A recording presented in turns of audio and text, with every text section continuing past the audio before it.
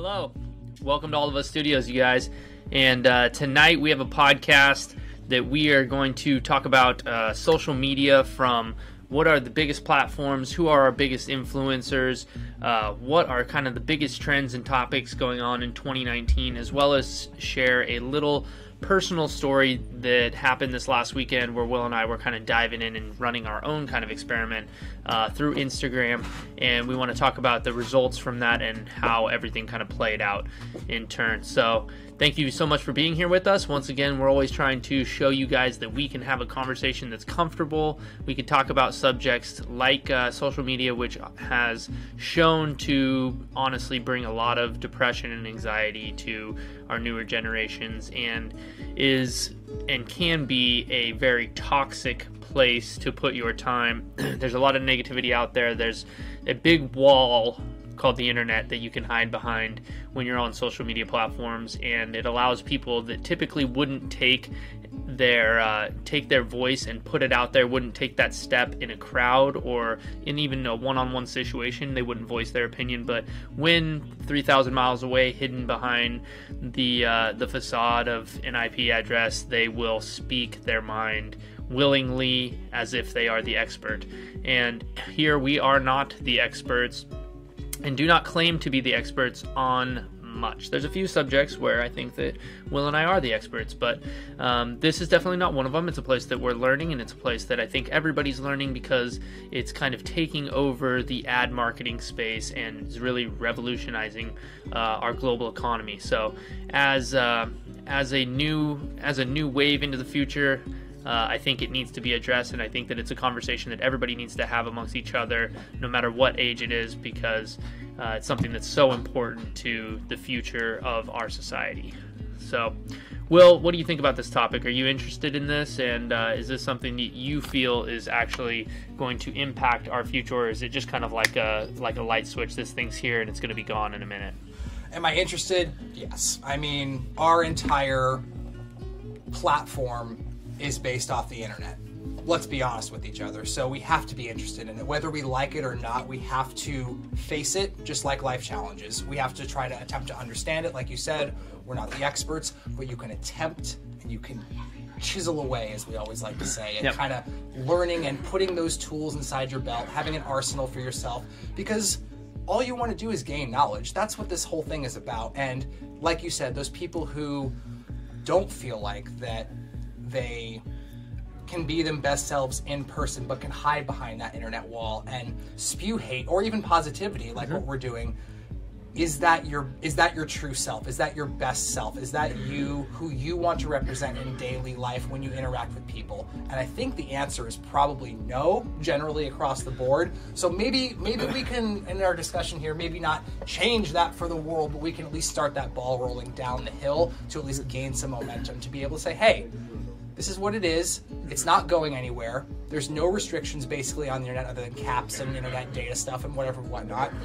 And we have to understand that this is something that we're growing with. And so we have to be better. We have to educate ourselves just like any other topic. Uh, and yeah, that, I'm really looking forward to diving into this topic. We actually have someone in our chat right now. Uh, doctor, hello, Doctor. We see you. Ooh, Uh, we're actually on. Discord 4771. If you do chime in, let us know in the chat. I can see you right now. Let us know. 4771, we can put you on headphones. You can be part of the discussion. I think this is going to be exciting. Brian, back to you. Definitely. So, um, I got a uh, got a little question for you. So, what do you think are the top three social media sites right now? What do you think? The top three Top three. Instagram, Snapchat, and probably Twitter. You got none. Really? Isn't that wild? That is wild. Right. So, um, number one, Facebook. That seems very odd. Okay. right? So Okay. Facebook, Facebook, I think, um, is extremely large because it was one of the first ones, right? It may not be the trending social media platform that it once was, but it is the platform that started with the youth, then expanded into aunts, uncles, parents, grandparents, even. And I think that the older generation is using it now more than the younger generation like my mom and dad they use facebook they don't use they don't use instagram. They don't use snapchat for sure right? And they don't even know how to use twitter. I think that the younger gen- the younger generation has moved more to a fast pace um, i want to see pictures i want to go i want to have stories popping up. Facebook is doing that now. They're they're catching back up. But they also they own instagram. So they don't need to they don't need that quick that quick pace because they have they already own it, right? They have their two they have their two markets already tagged. So number one, Facebook. Number two, YouTube. Okay. YouTube sitting at 1.9 billion. Facebook 2.23 billion. YouTube 1.9 billion. Number three, Think International. What's WhatsApp? LinkedIn. WhatsApp. So WhatsApp is if for you for those of you guys that are Americans, you probably may not even know what WhatsApp is, but WhatsApp is basically a service that you can download for free. You can uh, basically get a WhatsApp number and you can call and you can call and text people internationally for free that way without having to go through your your normal uh, your normal plans and stuff and having to pay up the wazoo. So that I thought was pretty interesting because I would have initially guessed just like you. I definitely would have thought that Instagram would be in the top three. I know that it's super prevalent, Right. uh, uh, at least amongst our friends and the people that I know. And um, and let's let's use that to kind of segue into our Instagram uh, endeavor this weekend. Holding that thought. Okay, it's go. really interesting though. We'll dive into Instagram here in a Yep. second. But you mentioned Facebook. You mentioned YouTube as the top 2 Mm-hmm. Guess who owns those? Google. So, with that being said, and you were talking about the transition of how your parents are all on Facebook, Yep. Mm-hmm. our family members are on Facebook. We had the unique opportunity in history. Maybe you don't remember this, but I think you do because you started talking about it. We were the first real actual true .edu generation that you needed to have an email address that was a Yeah. collegiate email address. That's true. Facebook. Do you remember when it Good was call, just baby. .edu? I do. It was huge because I mean, you went to Oregon State. I went to Linfield. I'm ironically wearing the shirt today. perfect, perfect timing. Perfect. Um, And that's how you were able to connect, even if it wasn't like a school that was an hour Yeah. away. It was a school that was in Bozeman or Uh-huh. you know up in Puyallup or wherever it may Exactly. be. Oh, hey, you have a Facebook. Oh, hey, you meet at a party. You meet at a social gathering. Uh-huh. It didn't matter what it was—a football game, a basketball game. Oh, you have Facebook. It was this It was- new it thing was a where cool thing, it for was a sure. social interaction among college students. Yes, it was. And then I'm not sure what the time was when Google actually purchased it. When that happened, Zuckerberg goes, "Okay, there's more money to be made." Boom! The email Let's floodgates open up. Let's open up to Google. Let's open up to Yahoo emails. Let's open it up to all this sort of stuff. So I think that's an interesting take. I just wanted to leave that two cents in there before we go to Instagram. And the, and the, the scary thing about that is the monopolization of personal data Yes. that Google now has. Oh, it's ridiculous. So so originally, right, you think of you think of typical typical commodities in our world, right? We had you go back to 16 1700 and people are growing potatoes or agriculture they're growing corn and they have they have uh, livestock and they have wood and it's like you're playing settlers of Catan, yeah, right? natural resources up the exactly wazoo. and so that is that is the prevailing thought that a commodity is something that is either made or harvested that is a good for another person right Right. and then came google's idea of we're going to harvest everyone's personal information and sell that out to big companies so that they can target exactly their demographic to buy their product. And once that once personal data became a commodity in our society, For I think everything changed because now Google wants Facebook, now Google wants Instagram, now Google wants YouTube, right? Where typically they're they they're they're a search engine. They're a place where you go so that you can find other things, not a place that is absorbing all of the data, running it through algorithms and tailoring it for specific businesses that are paying them large amounts of money for that data. or even just for your personal feed. Exactly. So that commodity, I think, is has significant impacts on how our social media experience is because now there's a motive. Now there's a mm. money sign behind who we are and what we're posting and how many platforms we are on. Right. Just like we were talking about during our live stream today, um, Yule was saying that, oh my God, you guys are on so many platforms. You're on, you're all of us studios on Twitter, on Instagram, on Facebook. You have a Discord channel. You have a website. You have a Twitch account. Like we're yes, but that's because there's so many different demographics and so many different people that affect or that are connected through so many different avenues that we have to spread our net wide to connect to the largest audience. Otherwise we could be missing a wonderful group of people out there that never would have seen it because they're they're more narrow focus onto like a single individual typically is narrow focus onto one platform or another which they and they call that home just like our parents use Facebook as their home, they don't need 15 platforms to send the same message to my grandma from I'm going to send you that message on Facebook, then I'm going to post a story about it on Instagram and then I'm going to send you, you know, like there's no need for that when they're when you're doing small group things and direct messaging, there's no need for it. So what we're doing is still, I think, uh, cutting edge and new being on so many different platforms and, and being able to bring so many different groups together uh, under one name, which is our name, All of Us Studios, and that's the community that I know that uh, we've talked about for at length that we're trying to grow here, which is one that does encompass all. Hashtag All of Us you have to go where your customers are. It's it's marketing, it's business 101. The people who want to stay in their social circle and do the thing and try to accelerate their one platform, whether it's YouTube or just Twitch or or just Facebook or wherever it may be. You have to go to where your audience is. And this is what we ran into this weekend with Instagram. So this is a great transition Absolutely. for you to be able to kind of take the reins here. Oh my goodness! So this weekend we we're out as uh, most of you that follow us um, and our and our live stream know. We were out last weekend. We went to the beach, took a little guys trip. The four of us, some of our best friends, and uh, and my cousin Trevor. And Trevor actually.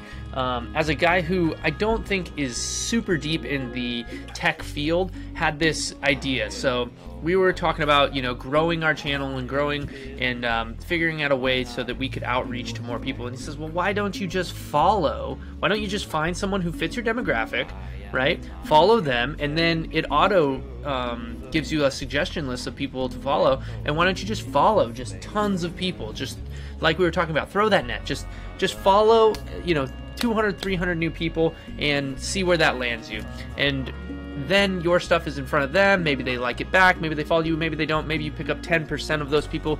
See what happens. Run this experiment. So, so we surged. So we do.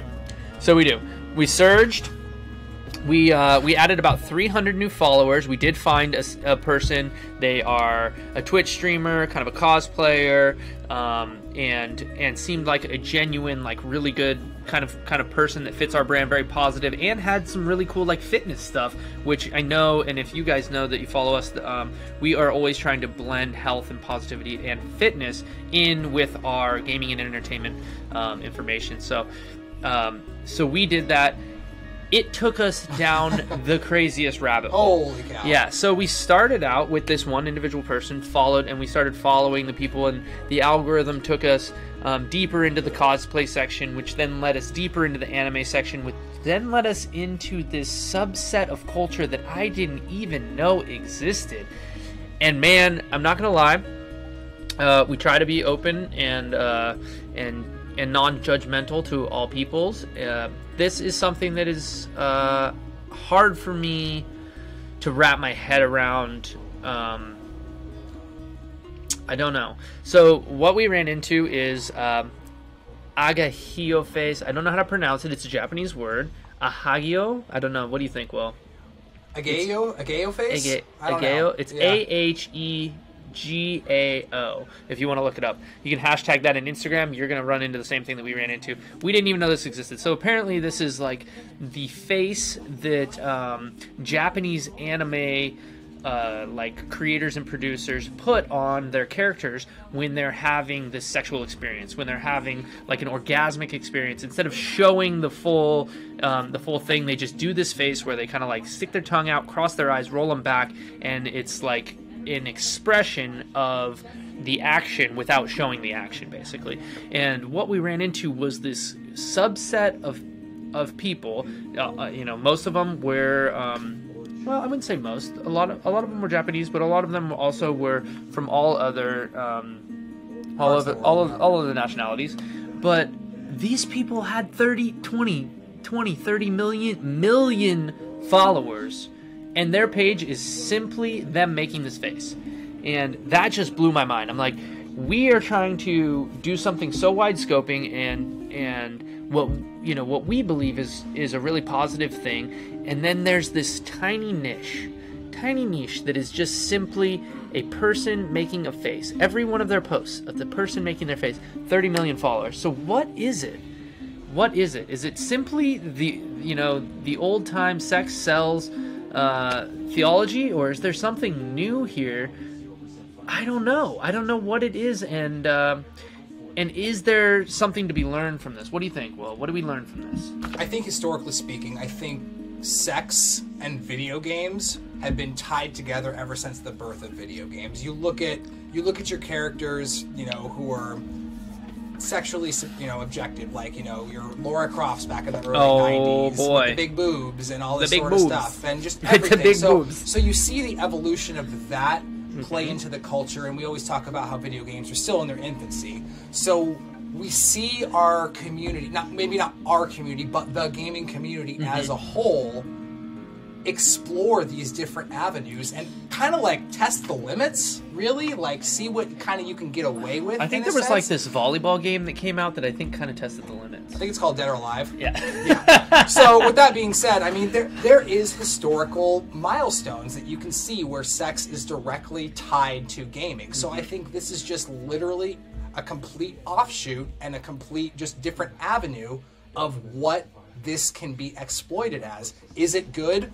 Probably not. Is it bad? I don't know. I'm not the one to judge that. But the thing is that it's here. It's been it's been out there in the wild. We just came across We- this yeah, space, and I'm sure it's no been idea. in the works for years now. Um, and so I think we just I think we have to approach it just like anything else in life and understand that this is something that we don't fully grasp. It has a sexual connotation, obviously, to it. The thing that gets me is that are the people who are making this face, are the people who uh-huh. are putting themselves out there to portray this as their brand. Is this ultimately what they want? And if it is, am I, I'm not them to stop. I'm not the Yeah, person to stop that. absolutely. But is that the message that they're attempting to portray? Or is it the complete opposite where they're doing it because they have 30 million followers and they keep it up because that's just their quote unquote job? I don't know. I find that really interesting. What do hmm. you think? So okay, so if we go if we're going into quote unquote job, then this is a clearly a market. So is there do you do you think that there is a company that then hires these young girls with a particular face, makes these accounts and just takes shots of them, uploads them on a regular basis of some type of schedule that they know is going to affect whether it's the 24 hours once a week, whatever it may be, so that they can get the highest impact and therefore they can make money and then give a cut to these girls who make the face. Do you, Yeah, I mean, I do you think it's- there's a business? It's think not it's- an individual thing; it's a business. Yes, and I think it's even see. I, think it's even, you know, maybe a little bit simpler than that where they do reach out to these let's say models so to speak Mm-hmm. And they say, "Hey, we've seen your page. We like what you're doing.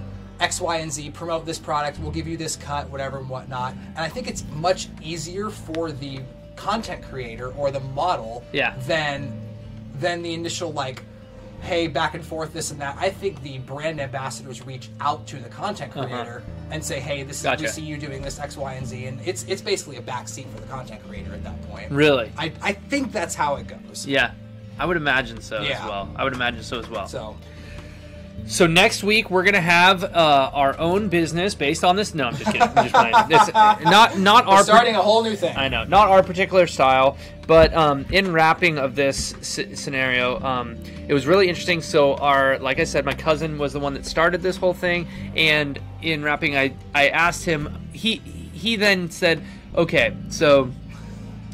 So this is okay, you know. Everything's fine with this. You guys are all of us studios. Your brand is about encompassing everybody, and um, and and so you have to you have to let this be a part of your world as well? And because when I initially saw it, I was like, "Ooh, we need to. We did our surge. It's time to purge, right? We're gonna get rid of a little bit of of the stuff that doesn't really fit our brand." And Will and I were kind of unsure about keeping it or not keeping it, kind of w- within our brand. And so I posed the question to my cousin. I say, um, "So you have two daughters, and if these, if if you I mean, his daughters are young now, but if they were a little bit older and he ran into and, or found, stumbled upon their their accounts that were of this manner, so they're you know making this face, his daughter's making this face, would that be acceptable to you? Would that be an okay thing? Would you allow it, and would you accept that into your community? And he said, absolutely not. So that that then um, that then kind of tilted me back and forth. You know, like we're supposed to accept them and be this like global entity that um, that allows all peoples, and yet it is something that is also taboo because most of them were young girls making these faces, and it, it's it's kind of strange to see um, to see sexualized uh, youth like that, and and it was uncomfortable. It was uncomfortable. Anyways, so do these people care about their audience? In short, I think that they do. They do. I think it's a different type of care and concern that you and I project out Uh-huh. there. I mean, I know. I don't want to speak for certainty, but I would say that I know that it's a different type of energy that they put out there. Mm-hmm. But I think that if you're asking in terms of black and white, do they care about their audience? I absolutely think so. Okay. Um, what do you think? Where or where does caring about your audience rank nowadays on of things that are most important to a social media platform in brand marketing? So we're starting. We have created our All of Us Studios brand. We have Tara glowing right here, um, and so we have this brand. Is our audience the most important thing? Is the revenue created the most important thing? Is there something else that I haven't even thought of that you can think of? What do you think is the most important thing about social media nowadays as brand marketers like we are? What do you think? Going with the ebbs and flows and being able to change on a dime. I think that especially with this business, you even talk to different brand marketers. I had the opportunity to take a online class called "What Is Social" from Northwestern University, uh-huh. and the number one thing that Randy, who was my professor, was mm-hmm. saying and kept stressing was that even he feels like he's out of the know. And this is the professor teaching everything. And so it constantly evolves and constantly changes. So i think that the number one important thing is your audience because your audience is always changing it's always fluctuating in some small capacity you may get the new joe schmo follower who is from the middle of the country who just got above 10 meg- megabytes per second on his internet connection to tune into something that he Finally never, got that he- there. exactly that he never knew was there Yep. before that person, that content creator, has to cater to that. Otherwise, well, from a business standpoint, they're leaving money on the table. Yeah. Why wouldn't they go pursue that person? Absolutely. I think that's the same mentality that all content creators should have, whether you're sexualizing your content, whether Mm-hmm. you are trying to literally encompass the world and bring positivity to gaming and health and fitness and what we're trying to do, or just, you know, join up and trying to, you know, make sure everything is lucrative and everyone is. And that's hard, man. It Like, is hard. That's super, super hard. I so I think totally that agree. in short, they absolutely need to create about or care about their audience, and that's their number one thing. But at the same time, we always talk about it. If you're not having fun, what the hell are you doing? Exactly. So if you're exactly so if we're taking that and running with that, I mean, these people are they having fun, or is this simply a business to make money off of these other people? I think that it's a totally different, a totally different thing. You know? Let me ask you. Okay, he's got something You're, you're, you're a good-looking guy. You're a personal trainer. Are we gonna You- are we gonna sell sex right now? well, that that's kind of my question to you right now. Is Hello. would you be comfortable? I don't have pecs. Show, show, show, show the audience. Uh uh You, See, you have pecs. You're fine. I have little pecs, but like, they're not enough to sell. I don't think. if you took the road of serious content creator of personal training of fitness of health of the Okay. let's let's say you know the, the not necessarily selling your body but using your body as a tool Uh huh. Okay. would you feel good about that because you're an expert you're right. I am an expert on health and fitness. I'm a nutritionist. I am I am nationally certified. I've been through many courses. I've flown around the country to uh, many conferences. I definitely um, consider myself a professional and an expert on that topic. I don't feel I feel maybe because of the fact that I'm that I am further along in my career in that field, I feel like I can speak my way into you know, speak my way and show my way, I suppose, with the the nomenclature that I have into um, into a lucrative career, and I don't need to sell my body to to show, even though it maybe maybe it would help. Maybe it would help. Maybe maybe ha- pulling pulling the abs out and doing some crunches would get me more followers. Um, but I don't think I necessarily need that at this point. But maybe I do because we've never tried that. I don't know. I definitely know that when I first started in this career, and there was uh, P90X coming out, and there was uh, who is the guy that does the God? We had so many different so many different little programs coming out, and I wanted to get into that, and we shot it. We shot a couple videos. Um, we never put them up. Maybe we will one day. Maybe you guys will see that. We have this awesome one at the park where this guy just wanted to be a part of our video, and he's just standing in the back, like, I wasn't sure remember that? oh my yeah. god, we're like, dude, get out of here. we're like funny. shooting a video. It was it was pretty funny. But um, oh, Brinks, what are you doing, girl? Right. So, but I don't, I don't, I don't think I need to do that nowadays. I, sup- I suppose because I, or maybe, I- maybe I simply am. Maybe you're right. Maybe I'm just uncomfortable selling my body for money in that way because that's really what it is. I mean, if you're out there half naked on the internet, there's a reaction point to it. And I and I have posted some things over the years on my Instagram account without a shirt on, but I don't not with the not with the uh, the point to make money off of it. You know, I'm not a verified Instagram personal account person. Right. I'm not a Kim Kardashian out there or something. Not yet. Not yet. This is true. Actually, true. to bounce, to bounce to our chat here real quick, we have uh, Cele- Celestial. Sorry, it's a far way text reading. Celestial Crafts costs. Uh, to touch on the subject, I feel personally that it's a trap. So in our society, sex does sell. So business will market towards that society. Actually, will pay attention to. This is definitely something that happens to the cosplay community. Yes, I totally agree. I totally, totally Gotcha. agree. Uh, see, and that's exactly where we went. We went from we're going to from Twitch streamer, gal, fitness, cosplay thing, and then the Instagram algorithm pulled us straight to sex. Right. It literally took us to cosplay, to anime, to this face, to the Ag- Ahageo face. I don't know how to We'll pronounce it. it. One day we'll get it.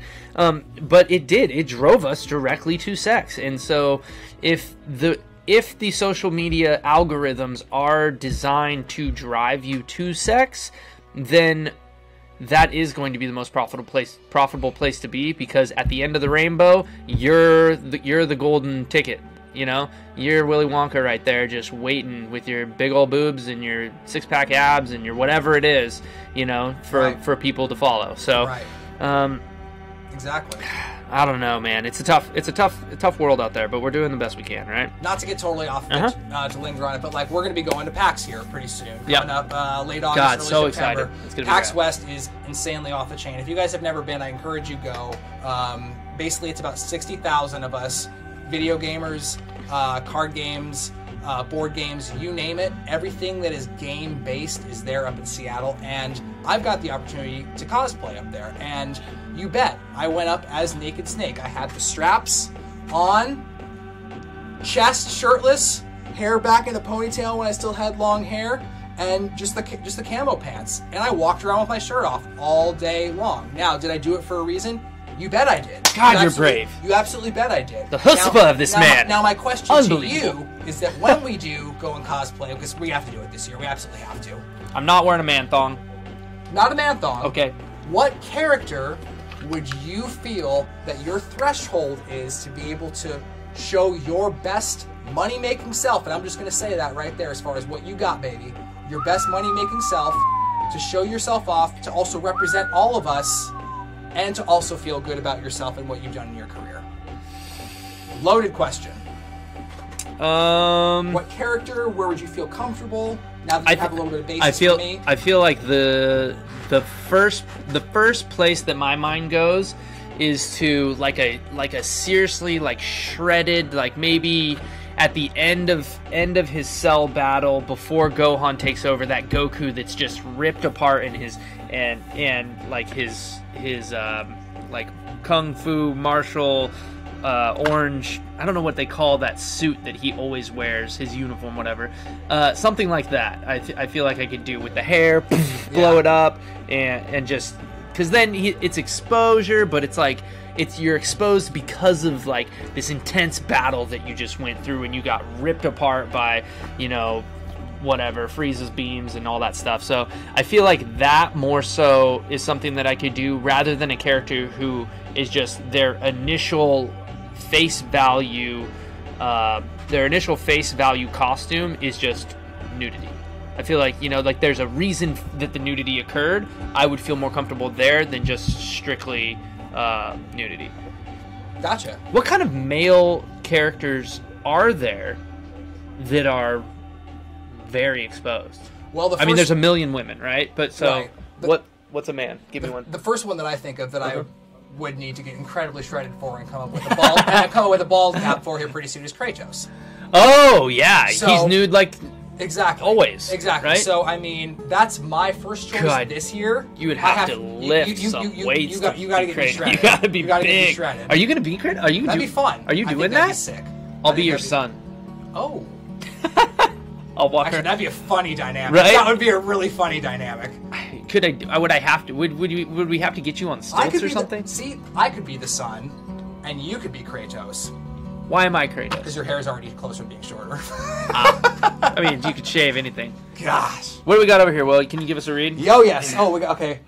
Man, the Is this Celestial answer- back in again? Yeah. Nice. Ka- Karina from Gary. I wow, those are a bunch of words. I Get don't close, know. get hold close, he's on Okay, it. I think. Uh-huh. Man, the correct answer is Kamina from Gurren Lagann. If you've ever seen Gurren Lagann, please do watch Kill la Kill. There's naked men in it. They're shown on a pedestal. Tell me, Well, tell, give it. I got my computer right here. Yeah, give me a. How do we do it? Uh, G? K I L L space la kill K I L L. Kill a kill. We're on it. Thank you, Celestial Crafts. Appreciate it. Appreciate it. Whoa, are those men? That's not a man. Is that not a man? Is that a man? Man, man with boobs. Man with boobs? Boob man. Boob man. Boob guy. See, we're learning stuff. He's got maybe he's um maybe he's on estrogen pills or something. Those are are those dudes? Those are round pecs. Those maybe- are round pecs. Maybe they're very yeah, maybe they're very round pecs. Um, this looks cool though. I like it. I like it. All right, let's. That was a tangent, a wonderful tangent. But we're, let's get back to our social media uh, topic for the night. So, um, how how pre-produced and edited and formulated and designed um, does the content that you pr- produce need to be, or should it be kind of this this new wave of quick access, vertical shooting, phone shooting on your story, whatever it is, um, authentic, off the cuff product? What do you think? What do you think? The history of social media. Where did it start? Where has it gone? Where is it going? What's the best place to be? What do you think?